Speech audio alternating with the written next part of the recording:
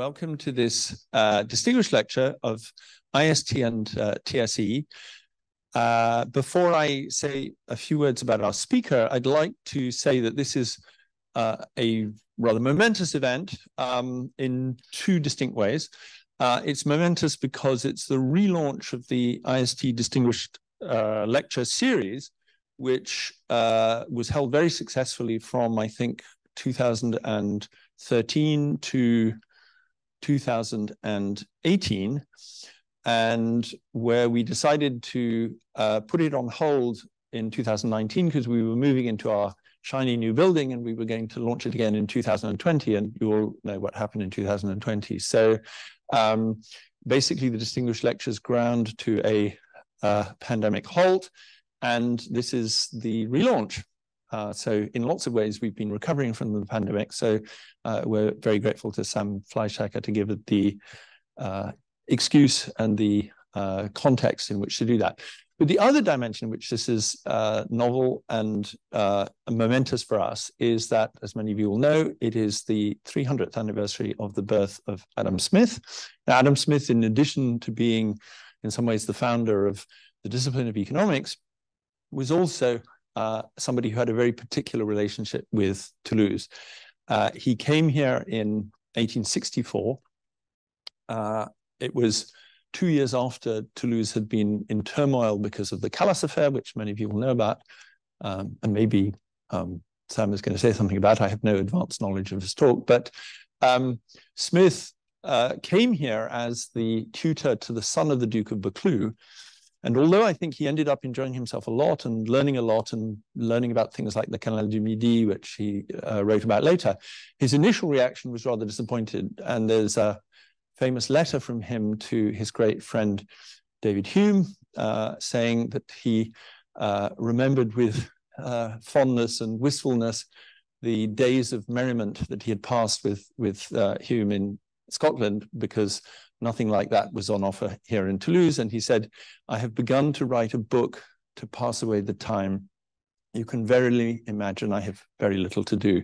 And so, in some ways, it's always struck me as, as remarkable that we owe that wonderful book uh, of Adam Smith, The Wealth of Nations, which he began here in Toulouse, to the fact that for a while, at least, he was rather bored. I think he did not stay bored, um, but that moment of boredom was the factor that launched the, the Wealth of Nations. We have something very grateful about that. But of course, he had a much richer interaction with Toulouse than that little anecdote suggests. And I think we're going to hear more about that.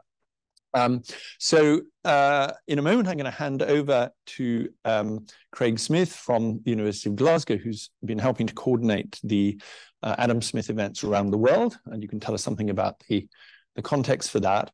Um, but let me first tell you a little bit about um, uh, Sam. Oh, and before I do that, I'd like to say that everybody here is invited to an event tomorrow morning at 9.30 where Sam will um, engage with Jonathan Haskell, who is, uh, in addition to being a distinguished uh, economist both in industrial organization and in macroeconomics, um, is a member of the Monetary Policy uh, Committee of the Bank of England. And we're going to have a discussion about what Adam Smith had to say about um, the role of what personal characteristics and attitudes towards um, uh, knowledge and research are important in policymaking. I think that's something that concerns everybody here. So um, a few quick words about Sam, but you want to hear him more than you want to hear me, so I'll let him speak for himself. Uh, he uh, uh, did his degree at Yale and has since run, uh, written very distinguished books about many aspects of uh, philosophy, um, moral and political philosophy. He's written at least five books with Adam Smith in the title that I was able to count on the enormous list on his uh, website. I think there are many others in which Smith features, even though he's not in the title. But he doesn't just write about Smith. He writes about many things. He writes about the philosophy of, of ethics, of politics, of religion, of secular society. And uh, uh, I'm very much looking forward to what he has to tell us about the Enlightenment Project and what Smith added to it. But um, can I hand over first um, to our spokesman from Glasgow, where I would remind you, Adam Smith was professor of moral. Um, thanks very much, and and and thank you for the invitation and for your um, your work with us in, in setting up this event. I'm um, a member of the team who have been celebrating um, Adam Smith's tercentenary at Glasgow and around the world. And there's another one has just arrived straight out of a taxi from the airport, my colleague Graeme Roy. Um, and we, um, we've been trying to, to make the tercentenary into a, into a real opportunity for people to get interested in Adam Smith, to think about him. It's amazing how many people are uh, are sparked into curiosity about somebody when you tell them it's their 300th birthday. And that's what we've been doing as part of our project. Um, we've been looking at Smith as a scholar, as an educator, and as a citizen. So we've been doing work um, supported by the John Templeton Foundation, which will make available um, digital scans of Smith's Glasgow lectures on jurisprudence. So they'll be available for the first time for scholars to use. We've been doing work researching Adam Smith's books and his library we've been doing work developing educational resources. Um, but also, I think, more than anything else, what we've been trying to do is um, to host events like this in our Smith Around the World series, cooperating with universities and with um, research institutes around the world to bring Adam Smith into contemporary conversations. Um, we've had events that run through the year from um, places which were intimately connected with Smith's life, like Glasgow and Edinburgh and um, and Kirkcaldy and also Toulouse. Um, we're delighted to, to, to, add that to the series. Um, but we've also gone out around the world to Japan, to Australia, uh, the United States, Chile, South Africa, uh, Kenya, China. And we've hosted events like this there to get people listening to conversations about Adam Smith and to get them enthused to perhaps go off and pick up their copy of the Wealth of Nations and have a look through it and see what they can learn from um, from the Wealth of Nations. And it's an absolute pleasure um, that um, that Sam is going to to give one of the lectures in this series because I think Sam is one of the the foremost experts in Adam Smith over the, the last couple of decades, who's been, I think, pivotal in bringing Smith back into serious conversations about philosophy and Smith's place as a philosopher. So I'm absolutely delighted that, that, that Sam's giving the talk, and I'm delighted we're hosting it here at the Toulouse School of Economics with your cooperation. Thanks very much. Thank you.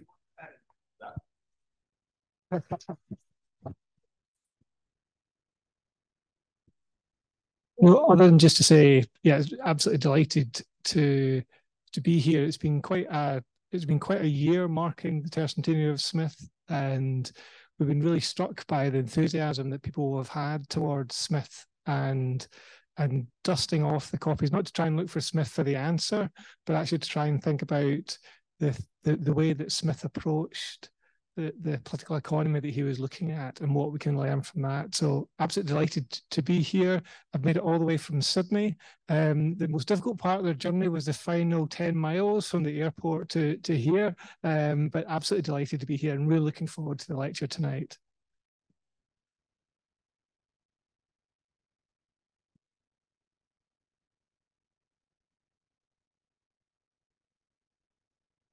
I just remembered as uh, we began the proceedings that I've been told in the past that if you tell economists you're going to read a talk, they'll throw things at you. So I hope you brought your tomatoes or whatever, but uh, I will read a talk. Um, I want to thank Craig for that generous introduction and uh, Paul and Valerie and uh, Jonathan very much for in their various ways for having made this event possible. I, it's a delight to be here in Toulouse uh, talking about Smith. Um, and uh, I was I was delighted to get your invitation, Paul. And I will point out that he said in his email that he would show me a better time than Adam Smith seems to have had in Toulouse. And so far, that's been absolutely true. I'm sure it will be true throughout. Okay, um, I would like to remind us all one thing that about Smith that to me as a philosopher is particularly important is that he did not style himself an economist. The term did not exist at the time. He was the professor of moral and political philosophy. Um, and as a professor of moral and political philosophy, I, I feel a certain bond that way. And this talk will address Smith both in the context of his Wealth of Nations and in the context of his earlier book, The Theory of Moral Sentiments which is actually the work by which he became uh, well known, and, and people were excited about reading The Wealth of Nations because it was written by the author of the Theory of Moral Sentiments. So I will work between those books to some extent, actually stressing the Theory of Moral Sentiments, which I'll call TMS for short. Um, but it, uh, but what I have to say, well, I think bear, well, does bear on both of the books. So I'm going to begin this talk by going over a point I've made in earlier work about how Smith's Wealth of Nations employs techniques he developed in his theory of moral sentiments to change its readers' prejudicial image, image of poor people. I'll then stress the fact that Smith combats a prejudice by presenting a new image of the group targeted by that prejudice, rather than responding to wrong-headed beliefs about that group. I take this feature of his work to suggest that Smith had a rather different conception of prejudice than most of his Enlightenment peers. If correct, this suggestion brings out a striking and hitherto unnoticed way in which Smith enriched the entire Enlightenment project of unmasking prejudice and anticipated critical strategies that have been fully developed only quite recently. What Smith most contributes to later thinking about poverty is not so much a set of proposals for alleviating it, although he does make some proposals along these lines, but a new image of the poor. More important than this or that policy in Smith, says Gertrude Himmelfarb, was the image of the poor implicit in those policies. She adds, quote, if the wealth of nations was less than novel in its theories of money, trade, or value, it was genuinely revolutionary in its view of poverty and its attitude towards the poor. Other scholars agree. Knut Haakonssen has called The Wealth of Nations the greatest working man's tract ever written. The intellectual historian Daniel Baugh, who we'll come to more in a moment, has argued that The Wealth of Nations was the primary intellectual source to break the hold of the condescending views of the poor that had hitherto held sway. Baugh brings out nicely what was so revolutionary about Smith's image of the poor. Few people before Smith, he points out, thought that the world either could or should do without a class of poor people. Until the late 18th century, most Christians believed that God had ordained a social hierarchy with truly virtuous people at the top and the poor and inferior sort at the bottom. Of course, those at the top were supposed to help the people at the bottom, but not enough to raise them out of poverty, out of their proper place. Almsgiving was understood as a means to redemption on the part of the almsgiver, and the existence of poor people was seen as integral to God's plan for future for human life. As late as 1728, the humanitarian Isaac Watts could say that, quote, great God has wisely ordained that among mankind there should be some rich and some poor, and the same providence hath allotted to the poor the meaner services, unquote. Says Baugh, and this is the first quotation on your handout. In 1750, there were two widely held attitudes towards the poor. The dominant one supposed that the poor should never have misery lifted from them, nor their children be encouraged to look beyond the plow or loom. It reflected traditional notions of social hierarchy and was reinforced by economic theories about labor and motivation. The other attitude was derived chiefly from Christian ethics. It held that the duty of the rich was to treat the poor with kindness and compassion and to aid them in times of distress. This benevolent attitude did not provide a suitable basis for policy making. Rather, it was a reminder of conscience, of the fact that the ill clad, filthy, laboring masses, habitually viewed with contempt by their betters, were equally God's creatures, whom a Christian community could neither exclude nor ignore. The major breakthrough in getting beyond these two attitudes, says Baugh, quote, came in 1776 when a philosopher of great learning, penetration, and literary persuasiveness published his inquiry into the nature and causes of the wealth of nations, unquote. Smith combated both the explicit condescension of the first view and the implicit condescension of, uh, condescension of the second one. He virulently opposed the notion that the poor are in any way inferior to the well off Over and over again, he pricks the vanity upholding a contemptuous picture of the virtues and skills of the poor. He presents poor people as, as having the same native abilities as everyone else. Quote, the difference in natural talents in different men is in reality much less than we are aware of, he says. Habit and education make for most of that supposedly great gap between the philosopher and the street porter, even though, quote, the vanity of the philosopher is willing to acknowledge scarce any resemblance between the two. To those who complain that the poor are naturally indolent, Smith declares that, on the contrary, they are, quote, very apt to overwork themselves, unquote.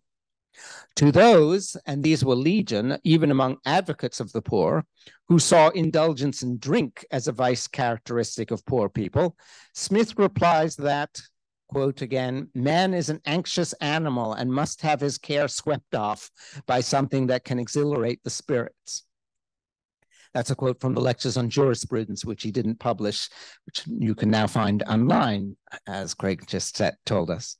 But it also exists in hard copy if you'd like to read it um, in print. To those who complained that the poor were affecting the manners of their betters and should be prevented from buying luxury goods, Smith says that it is but equity for the lower ranks of society to share in the food, clothes, and housing that they themselves produce. And to those who claim to be protecting the poor from their own prodigality, he says it is, quote, the highest impertinence and presumption in kings and ministers to pretend to watch over the economy of private people, unquote. These kings and ministers, he adds, are themselves always and without any exception the greatest spendthrifts in society. This is not the end of the list. Smith defends the religious choices of poor people against the contempt and fear of his Enlightenment colleagues, pointing out that the religious sects that poor people tend to join, while sometimes, quote, disagreeably rigorous and unsocial, unquote, provide them with community and moral guidance. He repeatedly praises the virtues and accomplishments of independent laborers, maintain, maintaining that it is unnecessary as well as inappropriate to monitor and control them. He even tries to excuse, if not quite to justify, the mob violence characteristic of workers in their struggles with their employers. Smith thus presents a remarkably dignified picture of the poor, a picture in which they make choices every bit as respectable as those of their social superiors, in which there are therefore no true inferiors and superiors at all. Individual people may be good or bad, of course, but Smith urges his well off readers to see the average poor person as just like their friends, relatives, or themselves equal in intelligence, virtue, ambition, and interests with every other human being, and hence equal in rights and desert, in dignity. It is indeed this picture of the poor that first makes possible the idea that poverty is something that society should try to overcome. If poor people are equal in dignity to everyone else, and are deserving, therefore, of whatever we would give our friends and relatives, then we can begin to see poverty as a harm an injury, something that, since we would not have it inflicted on anyone we liked or respected, we should not be willing to have inflicted on anyone at all. Now, it is deeply appropriate if, as Himmelfarb suggests, a dignified picture of the poor is Smith's most novel contribution in The Wealth of Nations. For then, the wealth of nations' greatest triumph is a shift in our moral imaginations. And it was the central teaching of TMS that our imaginations are what most profoundly shape our characters and moral attitudes. In TMS, Smith tells us that we can truly sympathize with others only when we enter imaginatively and in great detail into their situations. And this is the second quotation on your handout. The spectator must endeavor as much as he can to bring home to himself every little circumstance of distress which can possibly occur to the sufferer. He must adopt the whole case of his companion with all its minutest incidents and strive to render as perfect as possible that imaginary change of situation upon which his sympathy is founded. Only by putting ourselves in imagination into the whole case of others with all its minutest incidents, can we come to share their feelings and thereby to develop benevolence, respect, or any other moral attitude towards them. And in The Wealth of Nations, Smith puts us into the situation of the poor in great detail and thereby overturns ancient stereotypes against them. Let's turn now to the broader significance of Smith's effort to undermine a prejudice, the prejudice against the poor, by way of images, and what it might tell us about Smith's relationship to the rest of the Enlightenment. Peter Gay has rightly written that, quote, in its intellectual style, the Wealth of Na Nations is a cardinal document of the Enlightenment, unquote. Gay fleshes out this characterization by pointing to the secularity, the empiricism, the pragmatism, and the optimism of the book. He could have added its goal of undermining prejudice. Smith explicitly describes some of the views he opposes in The Wealth of Nations as prejudices, and elsewhere uses synonyms for prejudice for them, like delusions, absurdities, or follies. And he describes his own aim as bringing a perspicuity, his word, to the subject of economics that will enable his reader to see through these barriers to good judgment. I should say uh, on the side, I always tell people, even though I work on Smith, I don't really understand economics. So don't ask me any questions about economics. But the first time I felt that I did understand it was on reading Adam Smith. And apparently, many of his readers in the day in his day it wasn't so much that he was saying something new, but they finally felt it was clear to them. They finally felt it made sense. Uh, so even to this day, I think, even in his 18th century language, he clarifies economics more than most people, and in more than most economic textbooks, um, I would argue, I suggest at least. Um, in any case, I would, I'm saying here that the goal of perspicuity, which is very important to him, was in part a goal to undermine prejudice, because the idea is that prejudice is something which, when you see clearly, you'll be able to overcome. But anyway, I digress. At one point, he compares the popular uh, revulsion against corn merchants to the fear of witches and maintains that laws establishing a complete freedom of trade in corn, quote, would probably prove as effectual to put an end to the popular fears of engrossing and forestalling, unquote, as the laws that abolished prosecutions of witches were in ridding people of the fear of witches. But one central way by which the enlighteners of the 18th century understood their project was precisely as a struggle to banish prejudice and superstition. Immanuel Kant put this view succinctly, and this is 3a on the handout. To think for oneself is the maxim of an unprejudiced way of thinking. It is the maxim of a reason that is never passive. A propensity to passive reason, and hence to a heteronomy of reason, is called prejudice and liberation from prejudices generally may be called enlightenment. Famously, Kant makes these points also in his little essay, What is Enlightenment, which has come to be seen as a paradigmatic characterization of what the Enlightenment was all about. He calls thinking for oneself the key to enlightenment there and presents it as a process that can by itself free us from the constraints of prejudice. Now, it's notable that Kant promoted a rather different and more egalitarian picture of enlightenment than many of his peers. To say that the goal of enlightenment is overcoming prejudice is to, to suggest that it is not necessarily a matter of increasing one's knowledge. Others construed enlightenment primarily as a matter of increasing our knowledge about topics of practical use to human life, like agriculture and medicine, or science more generally, or theology and philosophy.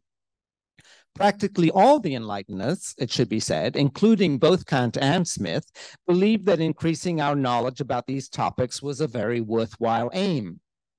But not all considered it to be the main aim of enlightenment.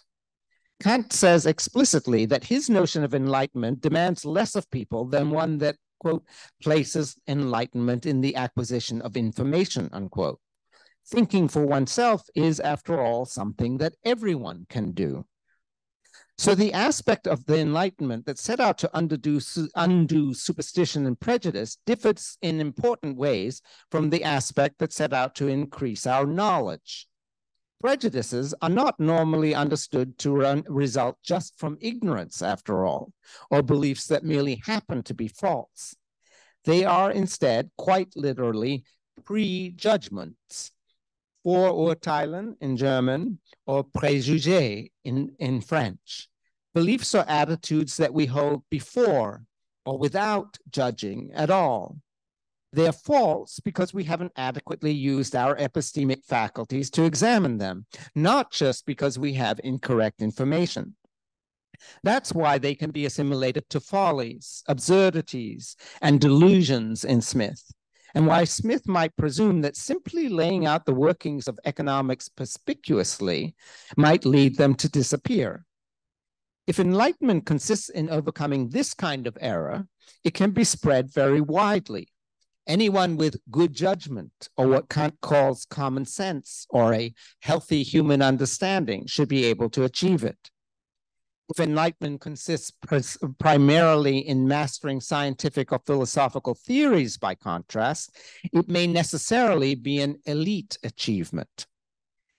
These points are not insignificant for an understanding of what Smith and Kant regarded as the political significance of their epistemic and social scientific work. But for the moment, I want to focus on another issue. I describe prejudices as beliefs or attitudes just now. But which are they? Beliefs and attitudes are not the same thing. The first are cognitive items, while the second are sentiments. And it would seem, at least, that what we need to do to correct a belief is quite different from what we need to do to correct a sentiment. The entire program of public education we might set for ourselves, if our target is false beliefs, is likely to look quite different from a program of public education directed at misguided sentiments. Smith's Enlightenment peers largely characterize prejudices as beliefs, Condorcet declared, this is the fourth item on the handout, that men retain the prejudices of their childhood, their country, and their age long after they have discovered all the truths necessary to destroy them. But if prejudices are things that truths should be able to destroy, then they would seem to be falsehoods, incorrect beliefs that we hold on to in spite of the evidence we encounter against them. Voltaire defined prejudice, this is the fifth on the handout, as an opinion without judgment, giving as examples beliefs that theft and selfish lying are wrong when taken on by young children simply because their parents tell them these things. These particular beliefs turn out to be good prejudices for him. They are true, he believes, and will accordingly be ratified by judgment when one comes to reason. But he insists that all prejudices, even true ones, must at some point be brought to the tribunal of reason. They are therefore for him too beliefs, the sorts of things that reason can evaluate. And the same is true for Kant, who tells us that in uh, 3b on the handout, prejudices are provisional judgments so far as they are adopted as principles. Sometimes, but not always, Uh, Hume takes a similar view of prejudice. In his essay of the origin of government, for instance, he assimilates prejudices to principles and opinions. This is 6a on the handout. Religion is commonly found to be a very intractable principle, and other principles or prejudices frequently resist all the authority of the civil magistrate whose power, being founded on opinion, can never subvert other opinions equally rooted with that of his title to, do to dominion. But elsewhere, as in 6b, Hume treats prejudice as a kind of sentiment. Nature has given all animals a prejudice in favor of their offspring, he says in The Skeptic. And when he admonishes critics of beauty to free their minds from prejudice and of the standard of taste, he has in mind an attitude that favors or disfavors an artist because she is a friend or enemy, a rival or commentator. He also identifies the virtuous and tender sentiments with prejudices in an essay explicitly entitled Of Moral Prejudices. Hume is not unique in this regard. In a famous passage praising prejudice, uh, this is a long passage under seven, uh, probably the most famous passage on prejudice on this handout. Edmund Burke declares that in this enlightened age, I am bold enough to confess that we are generally men of untaught feelings, that instead of casting away all our old prejudices, we cherish them to a very considerable degree. We being here Englishmen, as opposed to those terrible Frenchmen who are destroying all prejudices in the early stages of the French Revolution. Um, he, he foresees that this will lead to great violence, and it is worth noting that to come up with that in 1790 showed a great deal of foresight. The revolution had not yet reached its, its extremely bloody stage. Burke goes on almost immediately, however, to defend prejudices on the ground that we are afraid to put men to live and trade each on his own private stock of reason, because we suspect that this stock in each man is small, and that the individuals would do better to avail themselves of the general bank and capital of nations and of ages. This, of course, implies that prejudices are uh, elements of reason, not sentiments. We find both notions of prejudice in Smith that a country's wealth consists in the quantity of precious metals that circulate in it is something that vulgar prejudices suppose, he says. Colbert, unfortunately, embraced all the prejudices of the mercantile system. And several universities, he says, have served as sanctuaries in which exploded systems and obsolete prejudices find shelter and protection after they have been hunted out of every other corner of the world. In each of these cases, the prejudice in question is clearly a belief. On the other hand, Smith tells us that we sympathize with joy in others whenever we are not prejudiced by envy, and that the mean principle of national prejudice is often founded upon the noble one of the love of our own country. Here, prejudices are clearly sentiments. In yet other places, Smith's use of the word is ambiguous, as when he expresses uncertainty over whether the disapproval of certain professions comes from, quote, reason or prejudice, unquote. What we don't find in other Enlightenment authors, as far as I know, is the idea that prejudicial sentiments may arise from a picture, an image we hold of their targets, not precisely a propositional representation, not a belief exactly, but not something entirely independent of cognition either. Smith at one point explicitly refers to prejudices, prejudices of the imagination. This is 8c, and of course, it's where I took the title for this lecture. Here, the prejudice by which we attribute a happiness superior to any other to kings and lovers. More generally, for Smith, our sympathetic sentiments, which remember does not necessarily mean sentiments that favor other people, just sentiments that arise from our thinking ourselves into their position, are all products of our imaginations. Unlike Hume, for whom passions are non rational, referring to nothing beyond themselves, Smith argued that the feelings of a mature, socialized human being normally do refer, at least implicitly, to objects that we imagine should call up these feelings. Socialized human beings have second order feelings that take first order feelings as their objects. And we come now to nine on the handout.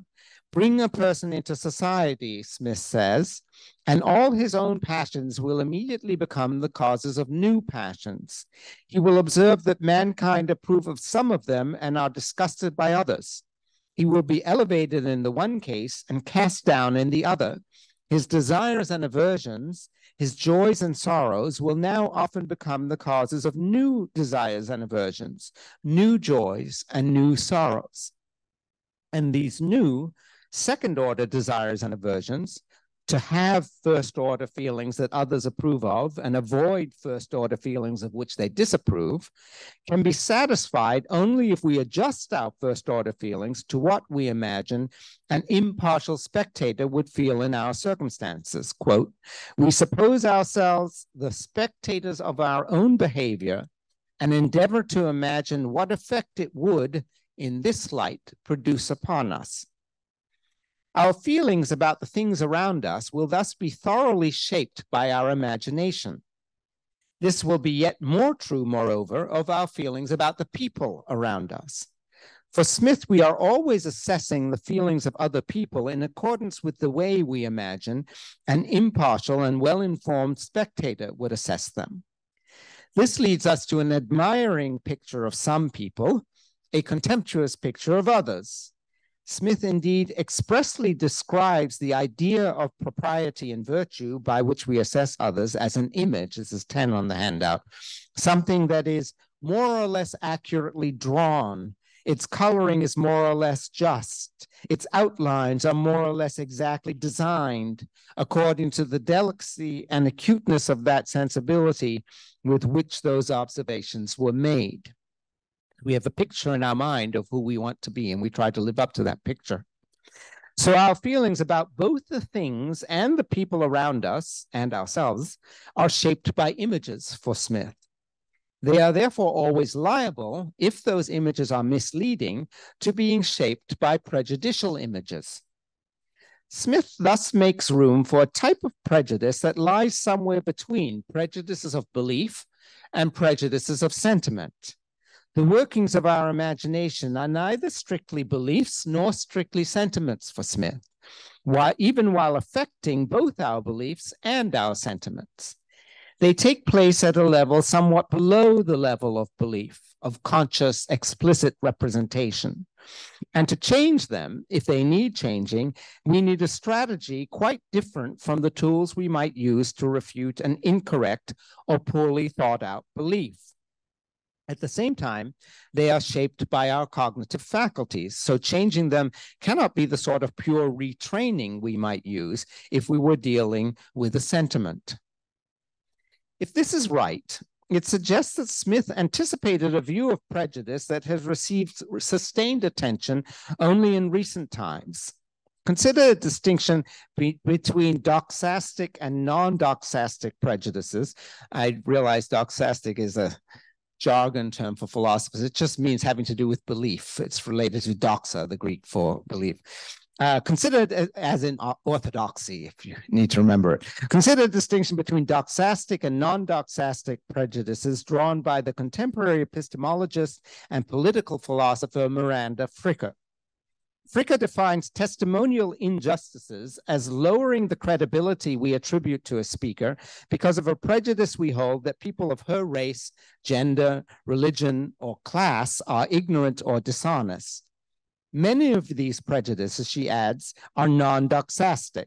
Her word, that's why I'm using it. They operate below the level of an explicit belief.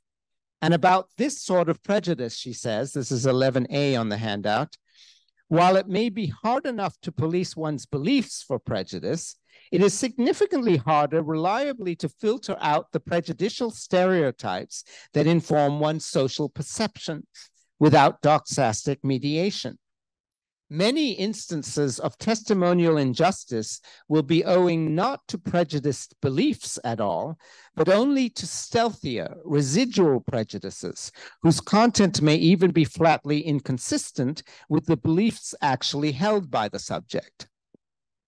Fricker characterizes these stealthy non-doxastic prejudices and illustrates them as follows. This is 11b.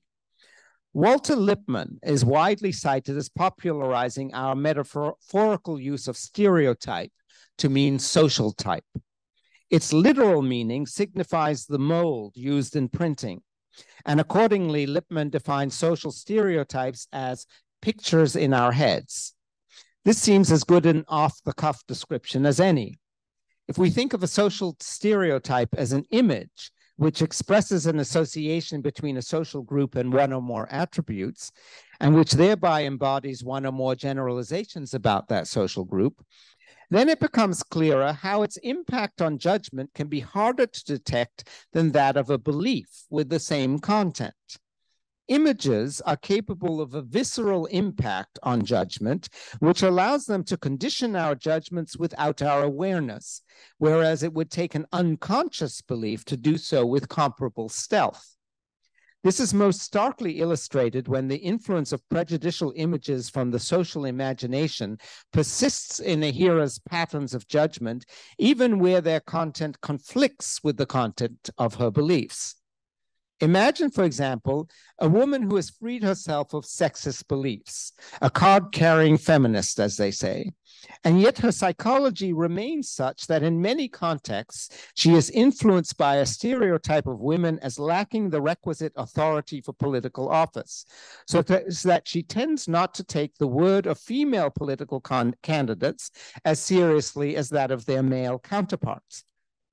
It can be that cognitive commitments held in our imaginations retain their impact on how we perceive the social world, even after any correlative beliefs have faded away. Note that the prejudice of the imagination that Fricker presents to us here operates independently of any prejudice of belief. And her example is a telling one, which seems not just plausible, but familiar. I submit that her example makes clear a notion that is already in Smith, albeit not nearly so well explained, and that it characterizes perfectly how Smith understands our prejudices against the poor. Let's explore this suggestion in more detail. Our prejudices against the poor arise for Smith from features of the way we sympathize that we are barely even aware of. Our preference for sympathizing with joy rather than grief in particular, and they lead us not so much to disapprove of poor people as to overlook them. And this is now 12 on the handout. The poor man is ashamed of his poverty. He feels that it either places him out of the sight of mankind, or that if they take any notice of him, they have scarce any fellow feeling with the misery and distress which he suffers. He's mortified upon both accounts, for though to be overlooked and to be disapproved of are things entirely different. Yet, as obscurity covers us from the daylight of honor and approbation, to feel that we are taken no notice of disappoints the most ardent desire of human nature. It's a particularly beautiful passage, I think, in TMS. Now, I might read this passage as saying that we have no image of the poor. Smith describes them as overlooked, after all. But in the context of what he says elsewhere, I think we can't read the passage that way.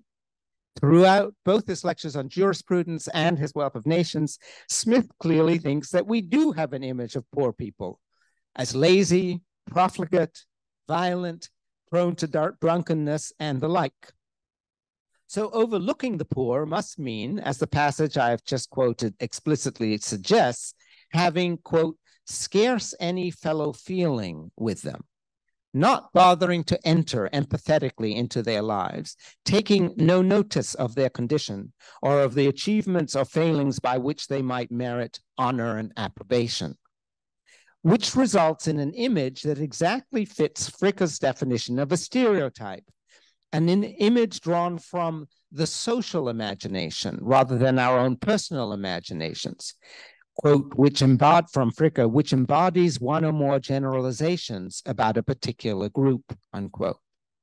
Generalized attributes drawn from what everyone around us says about a certain group rush in to provide content for an image of people when we fail to fill out that image by attending empathetically to their lives. And if we impose the resulting stereotype on our subsequent experience of them, instead of trying to enter into their experience imaginatively, we will continue to overlook them. We will continue to fail to notice them. But if we impose a stereotype on poor people rather than looking at them, if we refuse to see them in the daylight of honor and approbation, then of course we will attribute dishonorable motivations to them when they drink, don't show up to work, or spend money on what seem to us luxuries. We will not see them as capable of honorable motivations. If we are to understand them empathetically, first we need to remove the obscurity that covers them. That is what Smith tries to do in The Wealth of Nations. That is the point of his putting us over and over into the details of their circumstances, of his nudging us to think ourselves into what it is like to be them. Only such a series of imaginative exercises can overturn a stereotype in Lippmann's and Fricker's technical sense. Only that will engage with our prejudicial Im images enough to remake them. Like the card carrying feminist who retains a stereotype about women that inclines her to dismiss female politicians, many people who have come to recognize intellectually that the poor are as capable and decent as their better off peers may yet find themselves looking down on a person whose speech or dress betrays them as working class. A prejudicial image, a stereotype, a mode of feeling shaped by a mode of imagining needs to be overturned by a new image before the intellectual rejection of such a prejudice can take effect. Aside from the one passage that uses the phrase prejudices of the imagination, Smith does not explicitly lay out the image-based view of prejudice I have just described. Much of what he says fits nicely with such a view, however. Consider to begin with his claim that moral education is best accomplished by way of face to face interactions rather than explicit indoctrination. The practice among the upper classes of sending children away to fancy schools, he says, seems to have hurt most essentially the domestic morals both of France and England. If you really wish quote, to educate your children to be dutiful to their parents and kind and affectionate to their br brothers and sisters, better to keep them home. Quote, respect for you must always impose a very useful restraint upon their conduct, and respect for them may frequently impose no useless restraint upon your own, unquote. It's actually, I think, quite nice advice about educating children from a man who never had children, but uh, maybe as an outsider, he could understand it better than the insiders.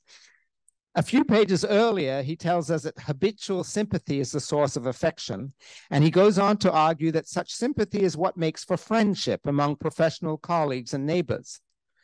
The idea that a habitual, often silent exchange of sympathies with others is more likely to enable us to build friendships and develop virtue than any explicit teaching is carried over into the wealth of nations, moreover.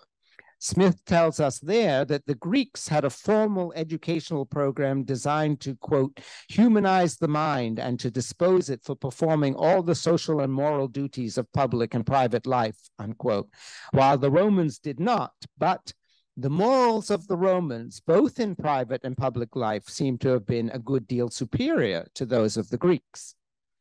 So, if overcoming prejudicial attitudes is part of virtue, as Smith seems to believe, then the informal education that we get from habitual sympathy, rather than the explicit education that the Greeks took to be necessary, will presumably be most effective in achieving that moral goal as well. That in turn implies, however, that the prejudices we are trying to overcome are less a matter of beliefs than attitudes, and the misleading imaginings cut off from sympathy that give rise to such attitudes. This suggestion can, moreover, be backed up by Smith's famous remark in The Wealth of Nations that, quote, commerce ought naturally to be among nations as among individuals a bond of union and friendship, unquote, and his claim in TMS that writers of imaginative fiction are often much better moral instructors than philosophers. Face to face acquaintance and imaginative exercises are what truly humanize the mind and enable us to become friends with one another for Smith. That implies that they are what truly enables us to overcome prejudice, and that prejudice is, accordingly, largely a matter of images rather than beliefs. So Smith seems to have anticipated a subtle notion of prejudice and how it can be corrected that has been fully recognized only in the present day. I believe that Smith was also right about both the nature of this kind of prejudice and how it can best be overcome. Which brings me in closing to some lessons we might take away from Smith for our own day. The first is that long dead writers like Smith can be a more useful source for thinking about even such current topics as epistemic injustice than current academic prejudices allow. At the same time, present day ways of sorting out things like the differences among doxastic, attitudinal, and image based prejudices can give us a richer understanding of what exactly writers like Smith were up to what exactly, indeed, the entire Enlightenment project of bringing people out of pre prejudice may have amounted to. A second related lesson is that we should not assume that writers from the past are uninterested in a certain prejudice merely because they don't explicitly name it. Sometimes indirect moral teaching is the best moral teaching, and we should look to how to see how authors present a group, not just what they explicitly say about it, to figure out their relationship to a prejudice against it. In Smith's case, The Wealth of Nations can readily be read, uh, seen as a work that sets out to undermine prejudices about the poor, even if it rarely presents itself as such explicitly. As noted earlier, this suggests a deep connection between the theory of moral sentiments and the wealth of nations. The moral teachings of TMS, on the view I've developed here, structure a great deal of what the wealth of nations accomplishes.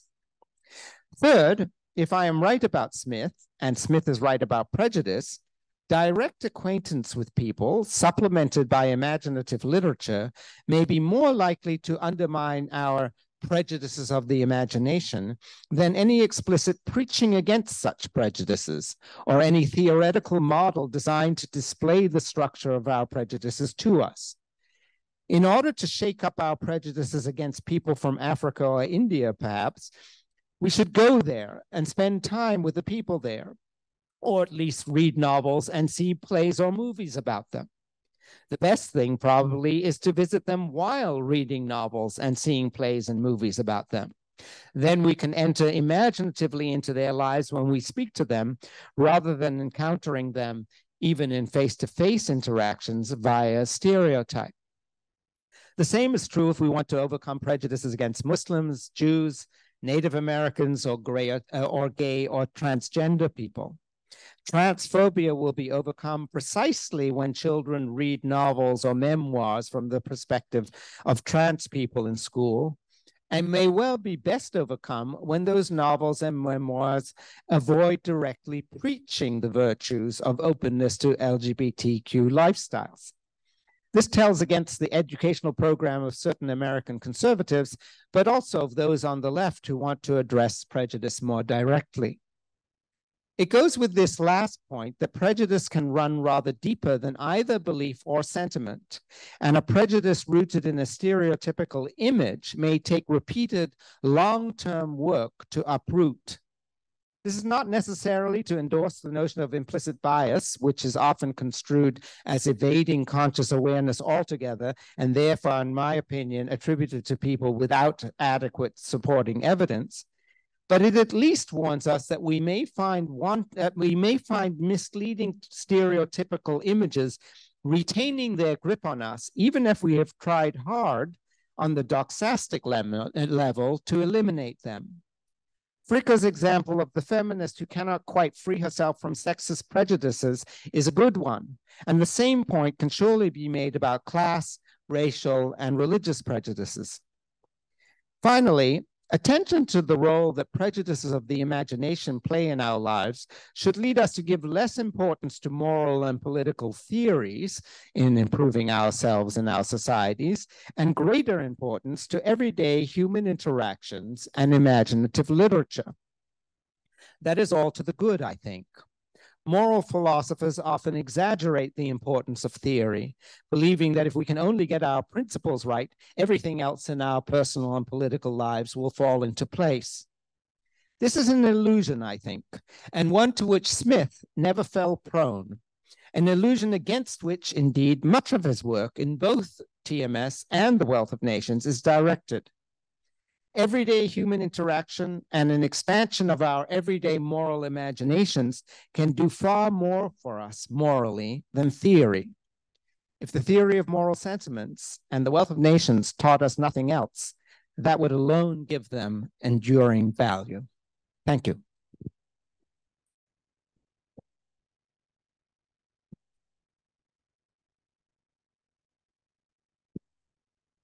Sam. Um, uh, you hold on to that for the moment.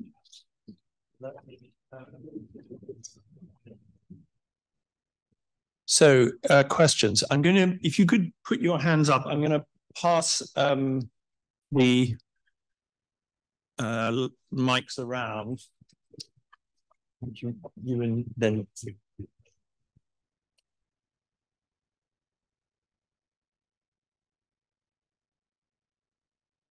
Um, thank you for this uh, very, very moving lecture. So the, the emphasis you place on imagination, which is very, very powerful and very evocative, I was just thinking there are limits to that because when you imagine, and all your examples talked about imagining a person, an individual, and prejudice, in my understanding of it, is often directed not at an individual. We often find, you know, structural prejudice is, you know, directed at a group.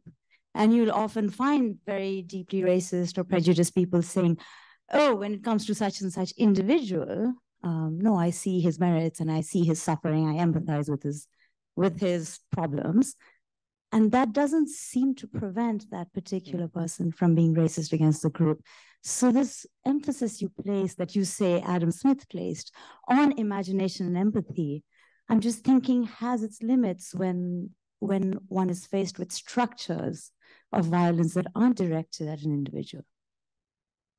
Yeah, that's a great point. I'm not going to I'm not going to deny the large amount of truth in what you say, and I may be exaggerating one kind of uh, aspect of overcoming prejudice at the cost of others. I'm not. I don't want to say that there isn't other work that we need to do as well. However, I do want to suggest, and I think this is in line with Smith's own work. First of all, just as a as a, as a claim on my own part, and uh, some will disagree with this, I think prejudices against groups are often overturned to the extent that they are precisely by entering imaginatively into a single other individual or a few other individuals. I did say this is something that has to happen many times. Um, and I, you know, Smith doesn't actually name the individual poor people he's talking about in, in The Wealth of Nations. And sometimes he speaks in the plural, as in workmen are too often uh, inclined to, over, to overwork themselves. Um, but often the examples are in a uh, in the singular.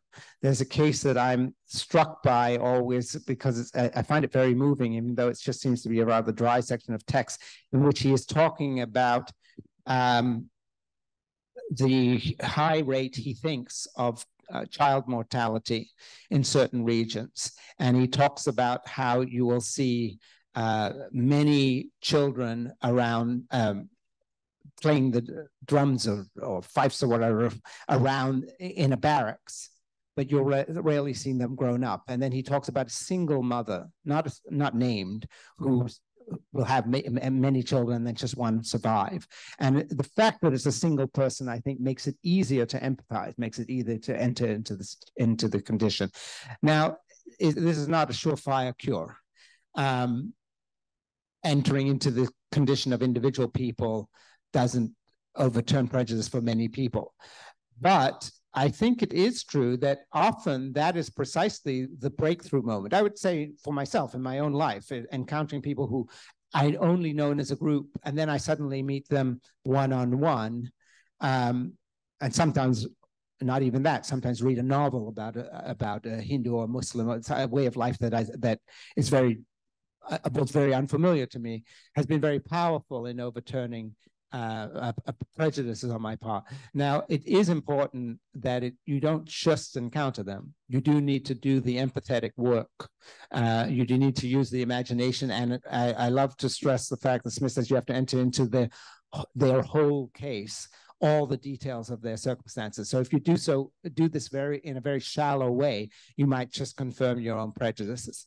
But if you do it more thoroughly, and especially if you do it repeatedly, I do think that that is something that contributes significantly to overcoming prejudice.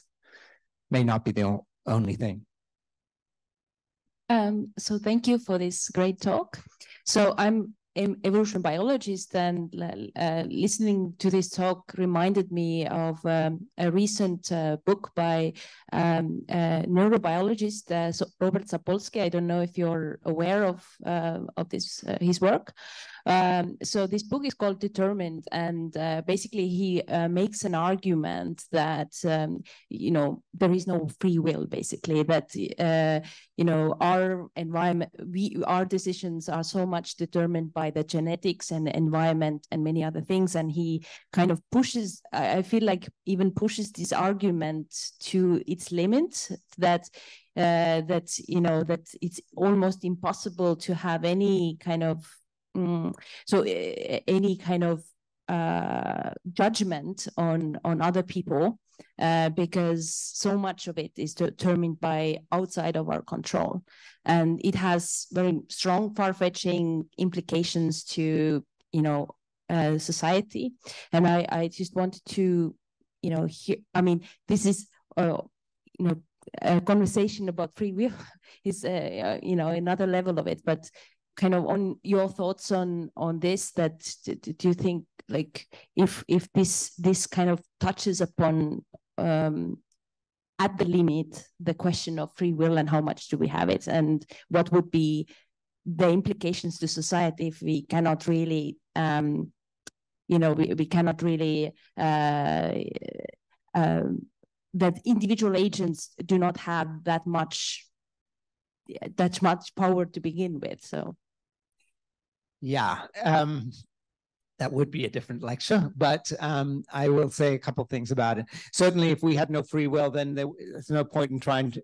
If you're convinced of that, it would seem at least as if there's no point in trying to overcome your prejudices, and we're stuck with whatever we have. Um, there are commitments and presuppositions that are built into various disciplines. Neurobiologists tend to start from a position by which free will doesn't make any sense. Does it doesn't figure into their work? You can't you can't find it experimentally. So it I, I, actually suspect rather strongly that in this case, as in many other cases of scientists who work either on human biology or on human social structures, they start from an assumption that there's no free will. So it's built into the methodological way they approach things. Philosophers, not all philosophers, but many start from the opposite assumption.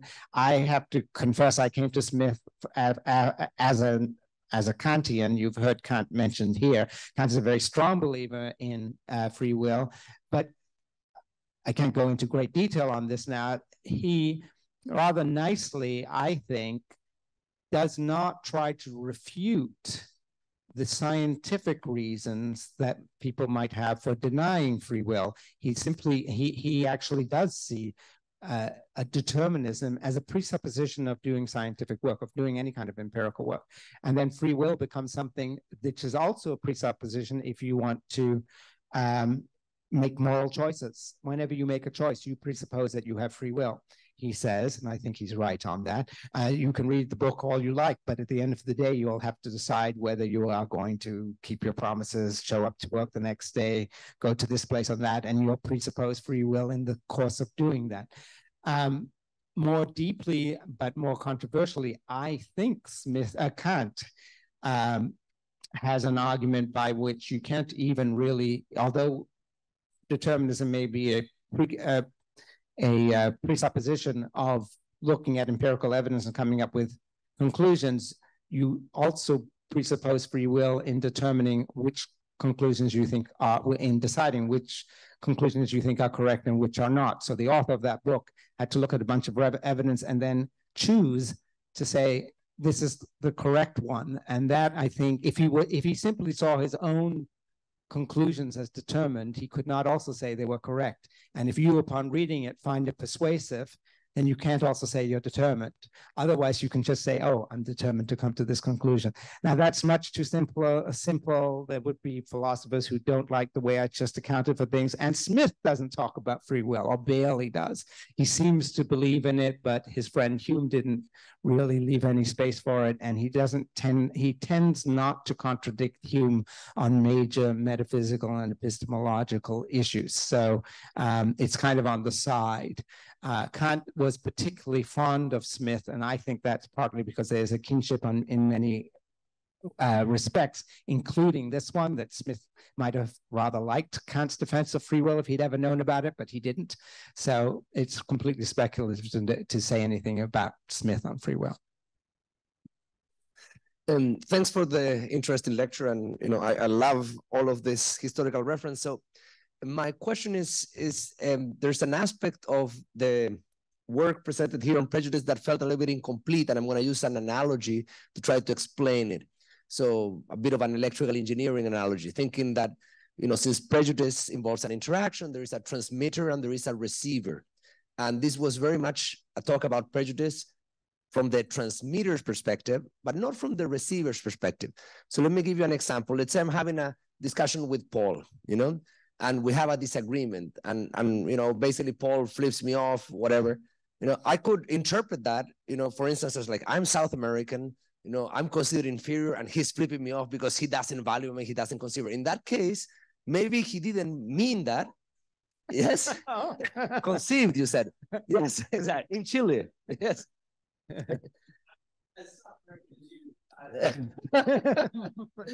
But you you get where I'm going. So in some sense, it could be that yes, maybe he had a you know a, an idea about me and make him act him in a certain way, but maybe it wasn't that.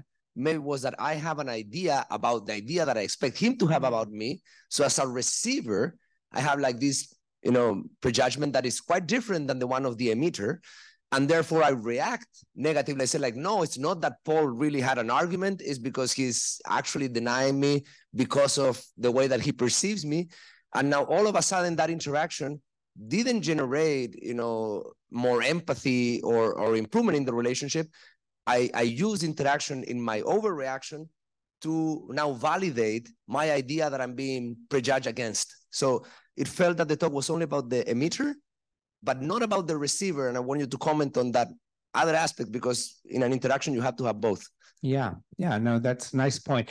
I I don't think that you'll find many 18th century writers of any kind talking about what it's like to be at the other end of a prejudice, as it were. They talk about prejudice as something you need to overcome insofar as you've received them. Fricker does. In fact, even in that quote, she talks about the feminist who is still um, affected by a prejudice against her, her, own group, as it were. It's, it's, not so much she's seeing herself in that light, um, in that quote. In the rest of her book, she does talk quite a bit about how people internalize prejudices. It's not quite the same thing as you're uh, bringing up, but then see themselves in the light of a certain prejudice. Um, I think that's an interesting topic in any case to explore, and I certainly have had that phenomenon myself, uh, experienced that phenomenon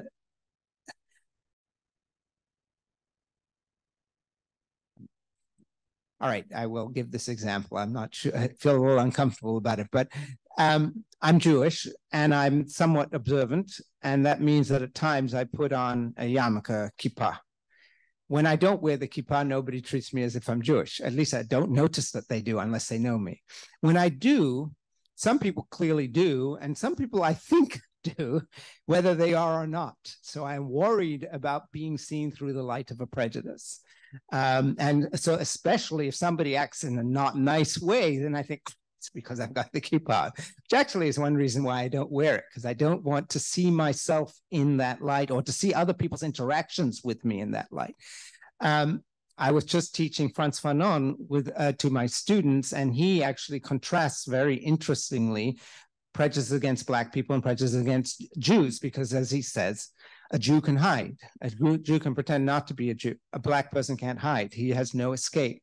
And he rightly says that means that he's followed around more by the prejudice. He sees all his interactions in that light uh, than the Jew is. But I also think that there is a, since Fanon was a psychoanalyst, I think he would be interested in the psychological texture of how you react both to being able to hide and not being able to hide. And I actually think the fact that Jews can hide can itself have a uh, an unhealthy psychological effect by which you try to disguise your own Jewishness from yourself. You try to pretend you're not Jewish. You try to keep it out of things, say, oh, I'm not like those people, and so forth. So there's a lot to explore here about how you receive prejudice, as it, as it were.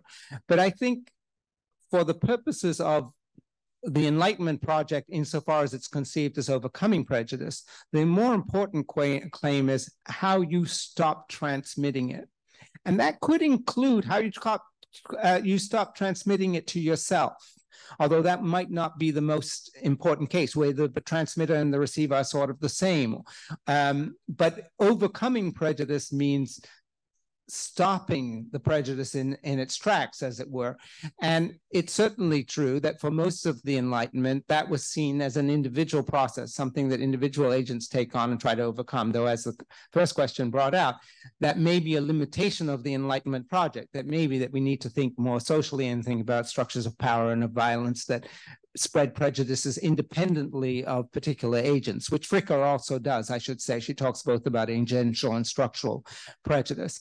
Insofar as we're talking about agential prejudice, however, I think we can use what Smith says or indicates about prejudices of the imagination to help over as individuals overcome that. That doesn't quite, it tells you why I omitted it, but it doesn't answer that. Hi, um, so I'm a political scientist, and I uh, work on um, you know political sources and economic sources of prejudice, and also I work on interventions that might help to overcome prejudice. So I found your talk very exciting and stimulating to hear from a different disciplinary perspective. Um, and I have a lot of comments, but I'll li limit it to just a couple of comments. So one, I wanted to touch on um, the notion of contact and so I think it's clear that if there's, you know, no contact, like how could someone possibly, you know, imagine or change belief or even formulate correct beliefs about um, another group or another another type of person? But it's clear that not all contact is prejudice reducing. So if, you know, a bunch of refugees flow into, you know, your locality, it turns out people start voting for the right wing party. Um, to a larger degree than places that are otherwise similar but have less refugees. And so it's clear that certain types of contact could be negative, could be prejudice reinforcing, et cetera. Um, and so I think the front a, a lot of the frontier is understanding what kind of contact, and it doesn't have to be one-on-one, uh, but it could be through the media or through other interventions, and what types of things are persuasive um, and are they more facts or are they more narratives or other things that help to transport people into the shoes of, uh, of others? So I think that's kind of a, a frontier there. I think the important point is it's not all contact. It's, you know, we need to explore what kind of contact is actually going to overcome prejudice. But the second thing that I want to touch on is um, that people oftentimes select out of contact with people that they don't like and have deep prejudices against. And so I think that's actually one of the biggest challenges in overcoming prejudice is that if I don't like a group and have a, a lot of prejudice, maybe I don't want to read a book about them. Maybe I don't want to listen to a podcast about them. I don't want to be around them. And so now, you know, there's a thought process of, well, how can you then avoid this uh, selection issue?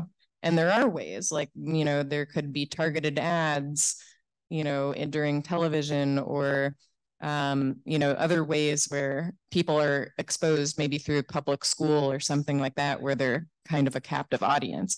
But even still, there's sort of a mental uh, there could be a mental avoidance. I'm going to shut down and refuse mm. to um, engage cognitively or emotionally with with the outgroup. So I was curious if you had any thoughts about uh, either the type of contact or the the selection issue of selecting out of kind of contact, especially positive contact.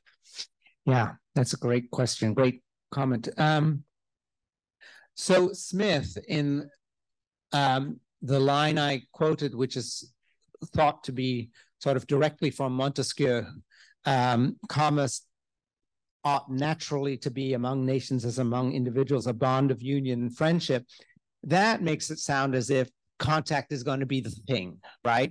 The great, the great advantage of commerce is that people actually go to other places, and he, he is that's in the context of um, complaints that he makes about the way in which Western colonizers have actually had have not wound up uh, in union and friendship with the people that they contacted, have wound up exploiting them and so forth. He's very anti-colonialist, and he's very aware that the wrong kind of contact can make things worse rather than better. Nevertheless, he seems to think that on the whole, the commercial world will improve relations across the world by way of contact. However, the thing that I've most stressed in the lecture, and I think that he most stresses in a lot of uh, in a lot of respects, is the uh, importance of imaginative literature more than actual contact.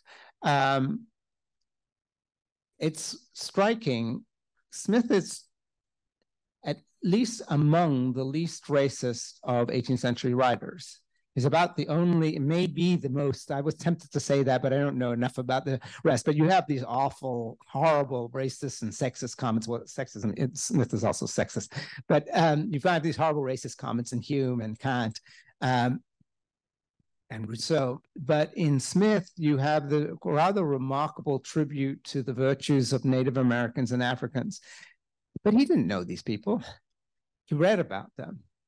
Uh, he seems also to have had a gift for um, imagining himself in other people's shoes, which is precisely what he recommends that people do. And I would stress that that's even more important than contact. And indeed, that's one of the reasons why I suggested if you really want to overcome a prejudice, it's not just the face to face interaction, it's the face to face interaction as supplemented by and indeed read through imaginative literature because it's only then that you really have some sense of what's going on inside. Otherwise, you're just meeting them in a very superficial way. So I think that's very useful. And as for the opting out point, which is, of course, really important, there are, as you say, and you'll, I'm sure, know more about this than I do. There are various ways you can circumvent that. One simple one is childhood education.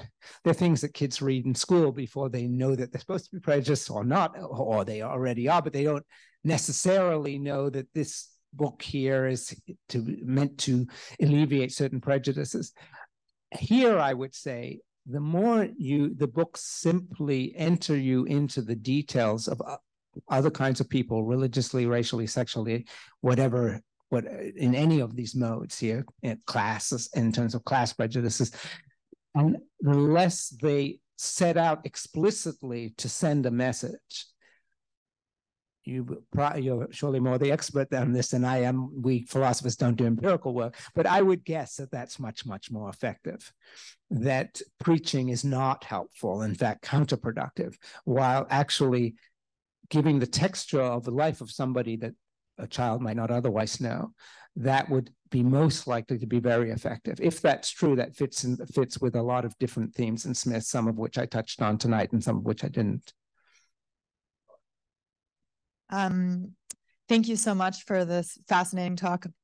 So a bit of this you answered with your response to uh, Cesar's question, but I'm thinking about how to square the argument about prejudices of the imagination and, and contact and imagining uh, being um, in the position of that person that you have a prejudice about, but how to square this with the example of the woman who is a card carrying feminist, but she has prejudice against female uh, women in positions of authority.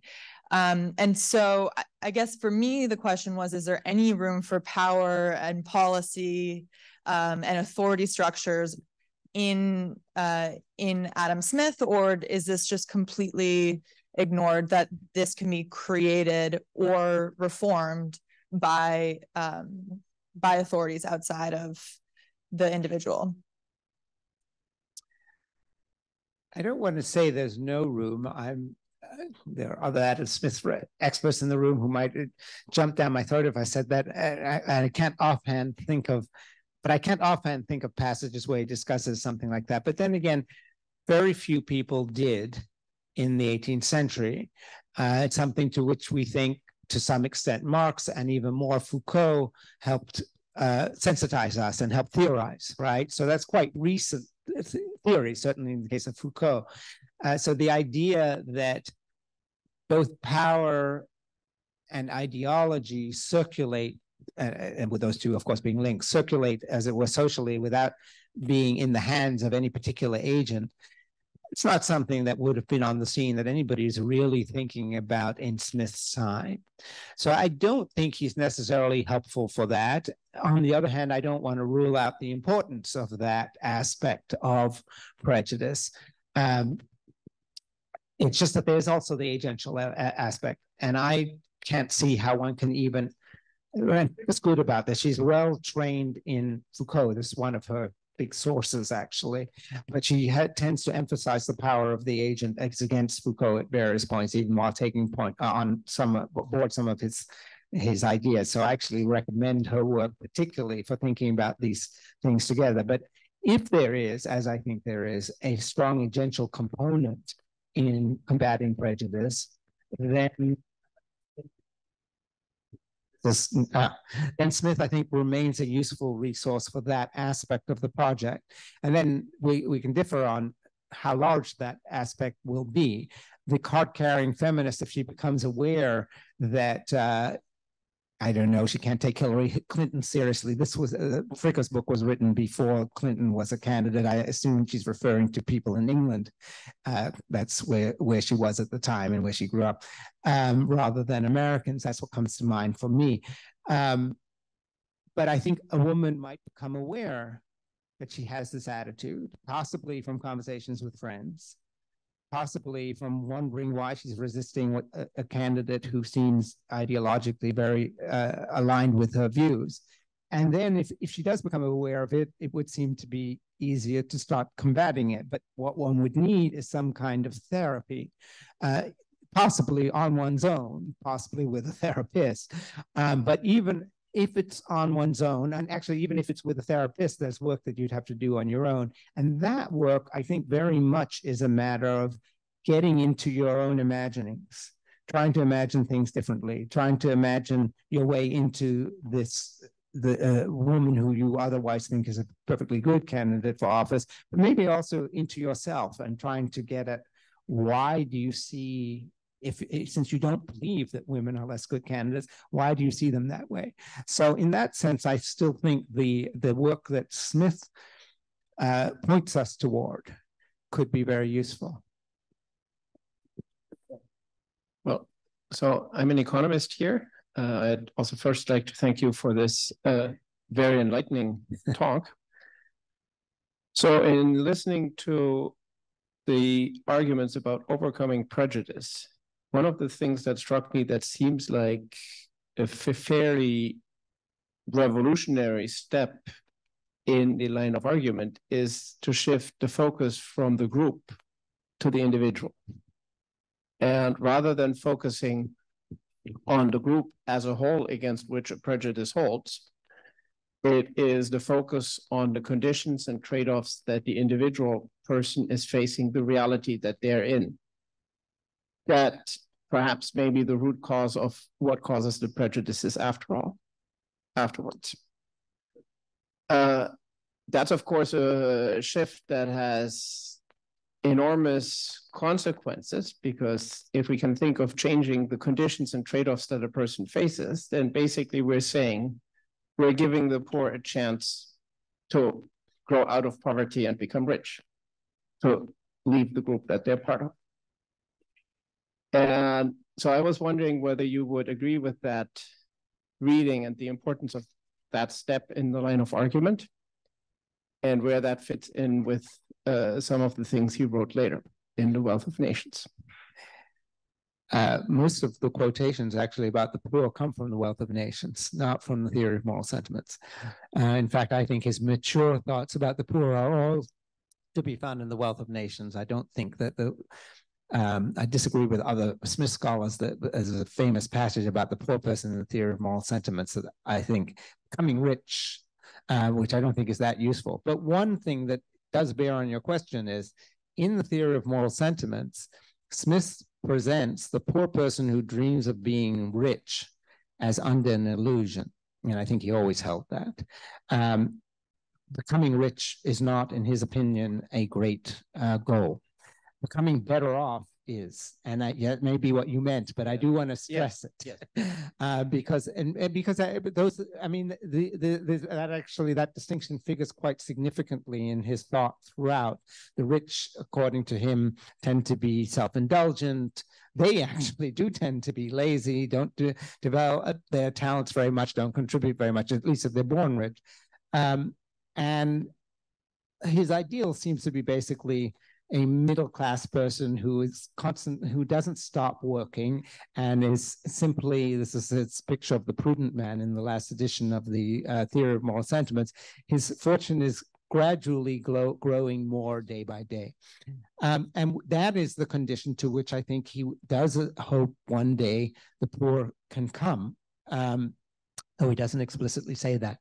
The thing is, the switch to the individual or as you say, switch. I don't didn't use that word. Smith is always focused on individuals, and he says explicitly in Theory of Moral Sentiments, we don't care about uh, uh, individuals because they are one unit in a larger society that we care about. We care about society because it's made up of the various different individuals, um, and it, the basic uh, element, building block of moral interaction for him is always one-to-one individual uh, relations between two individuals. And I think that that's actually quite helpful and indeed a corrective to the way the social sciences in later years were often done, including economics, thinking just in terms of groups. Maybe sometimes you need to do that, but he's always thinking about how a particular policy or a particular socioeconomic structure affects the typical individual in a certain position. There's not necessarily a named individual, but it is an individual as representative of a group. And he thinks that that's how we think about human beings. That's what leads us to care about them, respect them, or not respect them, not care about them as individuals one by one. I think he's he's correct in that. I think actually he serves as a healthy corrective in his individualism um, to um, tendencies later and among some in the social sciences to dissolve individuals into simply one among many in a larger group. Uh, thank you very much. I think time is is moving on. We we we need to draw to a close. I'm going to abuse my chairmanship position to ask one last question. Um, first of all, I, I, I want to say that uh, uh, for you, for, for me, your your talk was genuinely enlightening in several dimensions, but in particular, I think because I'd I was very familiar with that quote that you gave us about the difference between the philosopher and the street porter is, you know, mainly a matter of education and is not something intrinsic. And I had taken it, I didn't always interpreted that to mean that Smith was methodologically um, innovating in in social science against many previous people who'd written about how you know, there were intrinsic differences between Greeks and barbarians or between um, Arabs and Berbers, if you take Ibn Khaldun or other people, that actually under the skin, everybody's pretty much the same and they respond to incentives. And so I, I'd sort of taken this to be a methodological innovation about how if you want to change society, what you shouldn't do is redress the balance between Arabs and Berbers or between Greeks and barbarians. You, you just want to think about the incentives, giving people the right incentives. And what you, I think, added to that, which is something I hadn't really thought about, was this idea that by imaginatively thinking through what a poor person has to do, you you you attribute to them new respect. But then I was worried because I remembered that when, for example, the Soviet censors would um, explain why they were clamping down on some dissident novelist, they would say it's because he depicts honest Soviet taxi drivers as decadent. Um, and you know this person would be pilloried for and worse you know sent to the gulag because they'd written something in which some honest soviet taxi driver had a few moments of moral vacillation or whatever it was and i mean isn't there a sense in which censors everywhere um, want to take this argument and pervert it and to say it's only legitimate to use this imagination in a way that is uplifting. Mm. And the mm. moment you start exploring anything sort of a bit ambiguous and the sort of thing that, you know, decadent, um, dissident uh, playwrights and novelists like to do, then actually you're you're you're you're actually doing something very bad for society. So, I mean, what would you say to the Soviet censor in that kind of example? Well, uh, I would I prefer to live in a world with no Soviet censors. Uh, clear, Smith clearly did. Unfortunately, he was he lived in a in a time of relative uh, freedom and openness, time and place, and I think that's rather important to why we have his work at all. Um, I do think that part of truly empathizing with someone is also uh, understanding why they may do things that we dislike as well as things that they like that we like and indeed a portrayal of someone that is only uplifting reeks of dishonesty And Smith is not for that.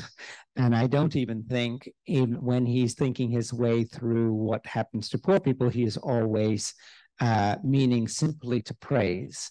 So, for instance, I mentioned this briefly. Um, I said he manages to excuse, if not quite to justify, mob violence.